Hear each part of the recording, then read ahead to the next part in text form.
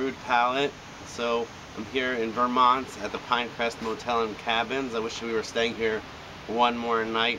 I'll probably include some video and picture of just the grounds of this area um, in this video um, because it's beautiful and each cabin has a grill and its own picnic table and just really really beautiful place to stay when you're visiting breweries in the area in Vermont. So um, we are staying here specifically though because it was on the Hill Farmstead's website that this was where somewhere close that you could stay if you're visiting the brewery. So, um, so I yeah yesterday, uh, Tuesday, I went to uh, did a but we drove up to Vermont, got a little lost, but we made it, and we went did a bunch of touristy stuff like the Vermont Teddy Bear Factory and Ben and Jerry's, but then we stopped at a craft beer store in Waterbury called the Craft Beer Cellar, uh, which is on Elm Street. I'll include all the info in this blog post or in the description of this video. Um, and I bought some really cool beers that I'll show you, and then we went to a bar which is around the corner called Prohibition Pig, which is actually on the site of the former Alchemist Brew Pub, and I also was able to go there and have a few really good beers. I had the um, Lawson's Finest Liquid um, Sunshine Double IPA or Sip of Sunshine Double IPA. Was really, really good. Um, I had the Founders Dissenter Imperial IPL, which I they had in the bottle at the store, but I, I wanted to save money for Hill Farmstead, so I didn't buy the $12 bottle, but it was really, really good. Definitely worth the money if you can get it. And lastly, I had a Hill Farmstead beer they had on top, a Session Pale Ale called Walden, which I really, really enjoyed. So the beers that I did get from Craft Beer Cellar, they didn't have Heady Topper because they get it on Wednesdays and I went there on Tuesday and now we're way out of the way from there, over an hour away. So unless they have some at the Alchemist, I'm not going to be able to get any of this trip. But I yeah, but I should know that I've had it many times, and I'm not really bummed that I didn't get it because uh, I'm sure I'll have other opportunities to drink it in the future. And plus, there are a lot of other double IPAs that are just as good, you know, you know, are on par with Heady Topper that I can drink and get in New York on a regular basis. So I'll just show you the bunch of beers. The one not East Coast beer I bought was the Stone 18th Anniversary IPA, the hoppiest golden brown IPA on earth. I had a, at a good price, and I knew that, you know, I'm spending a lot of money on home brewing in New York. So instead of, you know, trudging out to, to one of my bottle shops in New York, it was already on the shelf. You know, I'll grab a bottle, try it out, you know, and if I like it a lot and there's still more on the shelves in New York, then I'll get some more. Um, then um, I got some Heady Topper or Alchemist coasters because I like collecting coasters.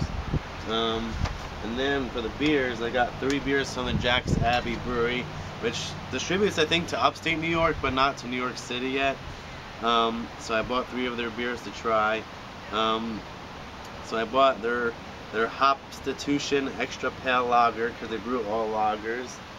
Um, I got their Mass Rising Double India Pale Lager, and I got their uh, their Hoppy Black Lager, which is called Cascade, uh, their Cascadian Schwarz beer. So basically, they're you know their version of a black IPA, but in lager form. Um, then from a really cool brewery. Um, which I think one of the brewers, I'm pretty sure one of the brewers was a, one of the former barrel or barrel people at Goose Island. John Laffler, I think is his name. Um, they started a brewing company called Off Color Brewing, and this is their Apex Predator. It's a third trophic level farmhouse ale at 6.5% and 25 IBU. So I'm really looking forward to finally trying one of their beers. And then moving on, some even some more hoppy beers I got from the Hop Valley Brewing Company in Oregon um, they carried some cool Oregon beers that I can't get in New York. I got their Citrus, Citrus Mistress India Pale Ale, a, a IPA brewed with grapefruit peel. So I'm really looking forward to that. Um, then um, a couple more beers. Um, from the Foley Brothers Brewing Company in Brandon, Vermont, as uh, one of the uh, owners recommended this beer, their Fair Maiden Imperial IPA. knocking in 8.2%, and it's batch three, so it's really. He said it's really fresh, so pretty cool beer. And then, last but not least, a can, the one and only can that I bought, um, from the Cambridge Brewing Company from Cambridge, Massachusetts. I got their Flower Child IPA in a can.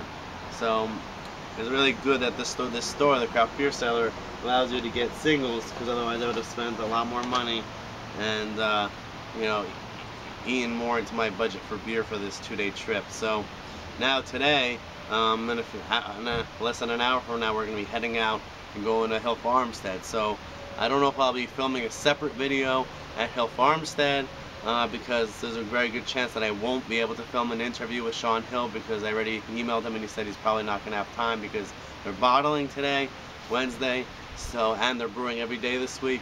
So if by chance I get an interview, then I'll probably post a separate video. But otherwise, the second half of this video will be just, you know, maybe me reviewing a beer that I try on tap or just some video of the brewery or us driving to the brewery and then all the footage at the brewery, but, you know, some footage of Hill Farmstead Brewery. So, hope you enjoyed this quick vlog just to tell you what I've been up to, you know, so far pre-Hill Farmstead craziness and beer geek geekdom. And uh, I'll see you soon at Hill Farmstead.